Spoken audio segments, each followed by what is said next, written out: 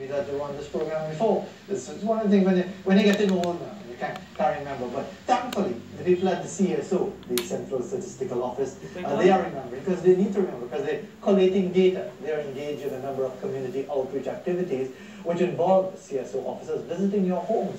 However, there are some persons apparently intent on impersonating officers that has resulted in some chaos. Is that true? Is that perceived? Is that some social media fantasy yet again? Well, we're joined now by two officers who are going to give us some tips uh, as well as information about the CSO's public exercise. We have with us Sean O'Brien. Uh, he's here in his capacity as the Director of Statistics, so I expect him to read off immediately uh, Brian Lara's test batting average, his one-day international average, and his T20 average as well, apart from his, uh, uh, along with his strike rate, seeing that he's the Director of Statistics. Louis Gomez is a senior field interviewer. Good morning, gentlemen. Good to have you with us uh, this morning.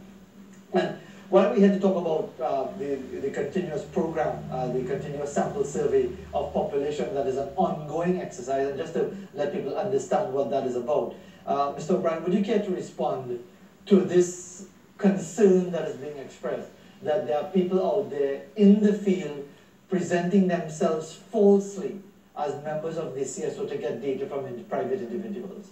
Okay, well, good morning, everyone. Um, this has been uh, a rumor, I will describe it as, that has found itself on social media and even in some mainstream media outlets as well.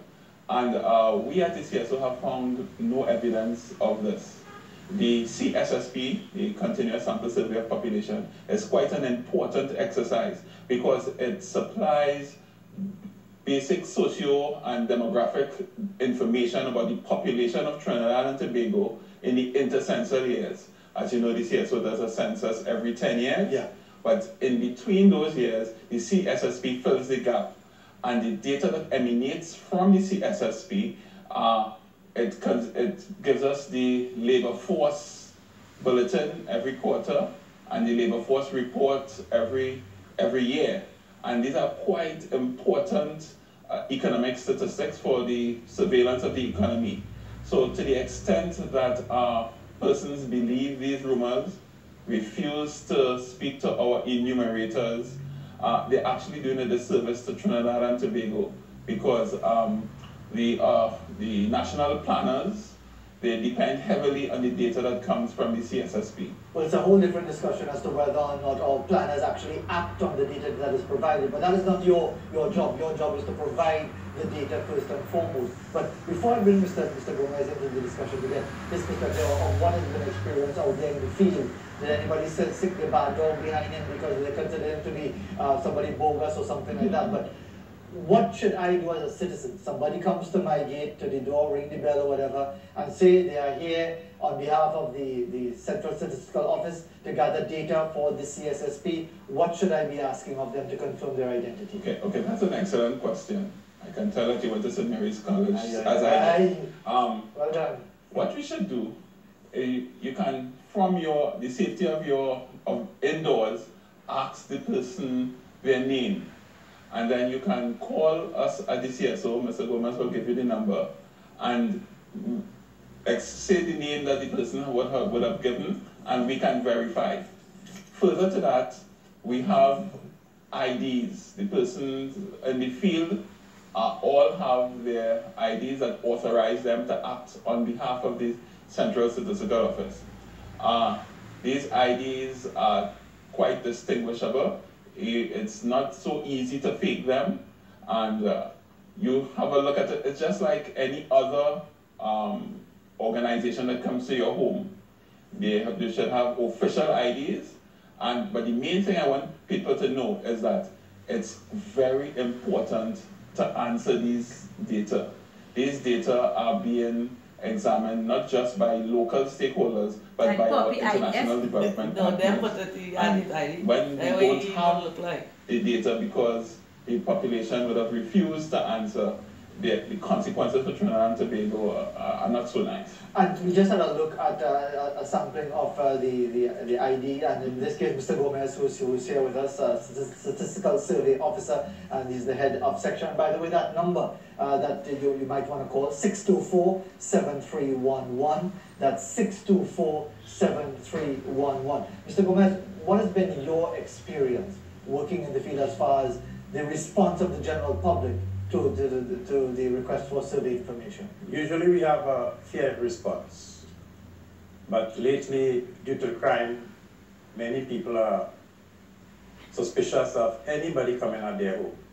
So we have people who tend to feel we are from, we are looking at their property, mm.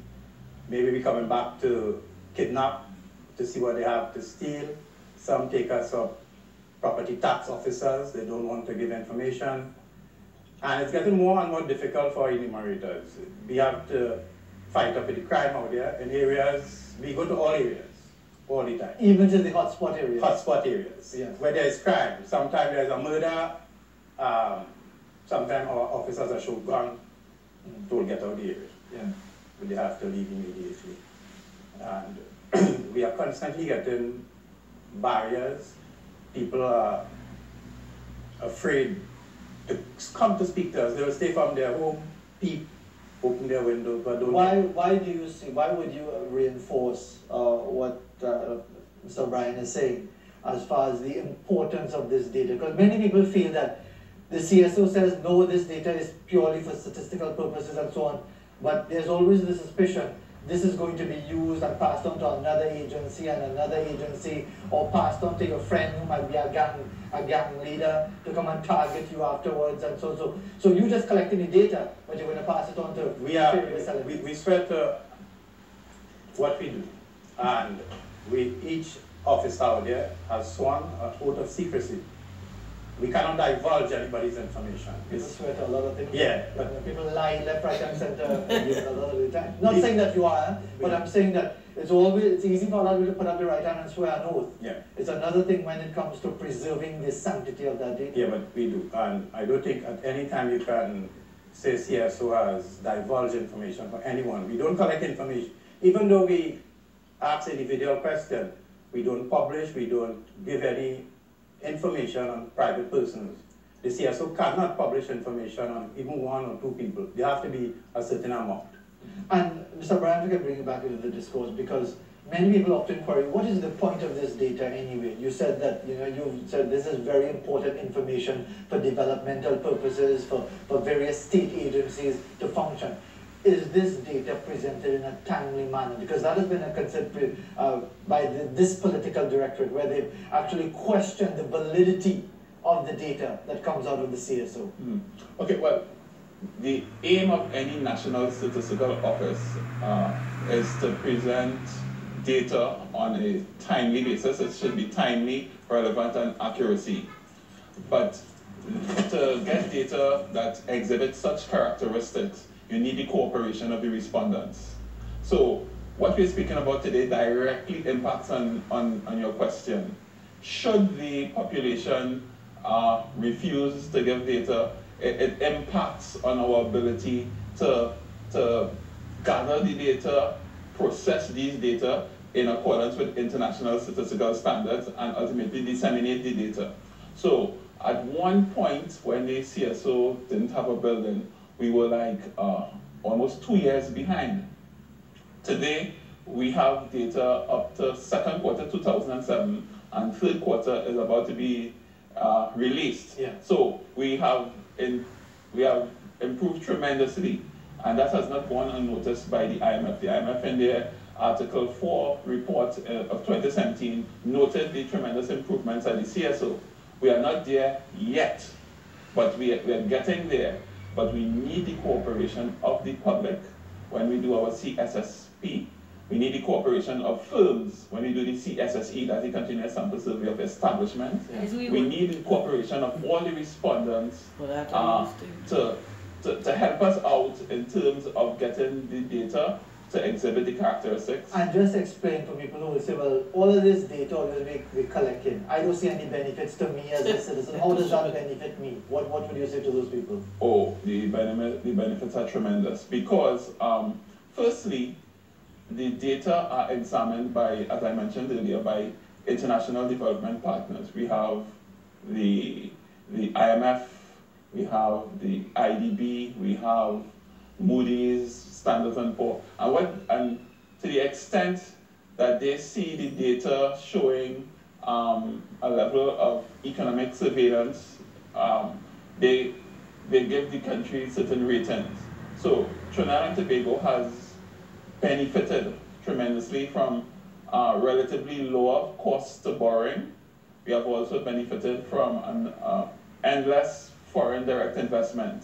For this to continue, the data that, that are collected must be seen to be done under good governance practices and in accordance with international statistical standards. And it must be seen to be uh, relevant, timely, and accurate.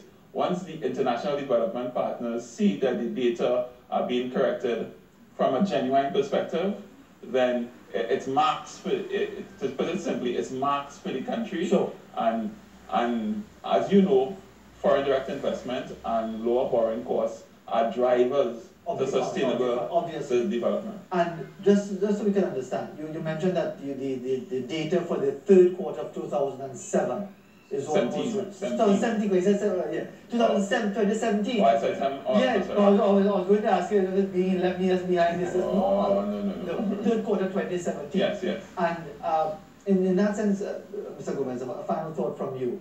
Uh, you, you, you vouch for the integrity of yourself and your fellow officers and so on.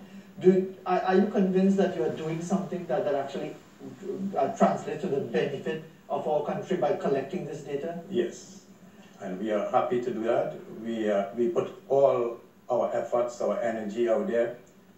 I want to compliment the field staff, especially for going out there, constantly being rebuffed by citizens, being challenged. Sometimes they call us fake. Again, because of ignorance, they, they don't realize we come all the time. We are constantly. and let's, not, and let's just not pretend that this is the so-called lower income areas. Eh? No, no. Some of the posh areas, they're worse. We get as much problems in the posh areas. We have gates we can't go through. They don't come out because they are afraid. People, our interviewers are in the sun or rain, and they won't come. You know, they wouldn't even answer. It doesn't take long to answer us. We yeah, this is a yes or no. Yeah, they wouldn't even answer. Yeah. wouldn't even be the courtesy of a response. And even people who use the information from the CSO so much, they are sometimes the one don't want to give information. Even in the higher yeah. But it is one of the strengths. Yeah. What I could also, yes, what I could also mention is that the CSSP has been in existence since 1962. Well, that's before I was born. Probably Mr. Gomez and yourself may have been around, but I, since, so old, since then, I thought you were thinking of St. Mary's homies, man. The CSSP, the CSSP has been around since then, and we have maintained the confidence of our respondents. We have um, always uh, kept the data under the requisite uh, security um, protocols, protocols and there, there's never been a problem from since then to now. And I can give the assurance that your data will be confidential. It will be used only for statistical means. So we persons will only know so many people live in this area or so many people uh, have this um, job or, or whatever. It's not going to be you're not going to be personally identified. We can give you that assurance. All right, gentlemen, well, thank you very much for being with us uh, this morning to, to give us this reassurance that all of these rumors flying about about people pretending to be CSO officers uh, and they are saying that they have no evidence of that, and, and I'm sure um, you, can, um, you, can, you can rest assured people on social media will be saying, but I have this evidence of this one and that one. Uh, we can give you the number once again, uh, Mr. Gomez, if you don't mind. If I could just take a look at uh, that number, just to remind everyone, because even though I'm as, as old as I'm being told I am, uh, born in, 1965 uh, actually, uh, the, the number to call, 624-7311. And, and as you heard Mr. O'Brien said, somebody comes at the door, knocking and or ringing the bell, and you're not sure, call the number to verify the identity of the person, and that could be a big step forward in your own confidence in the process. And, and indeed, because we are not really a data-driven society, we really need to move towards that end and, and, and actually use the data that these individuals are collecting and have been collecting for decades on our behalf. Coming up towards uh, 7.19 in Trinidad and Tobago, we'll be back right after this break.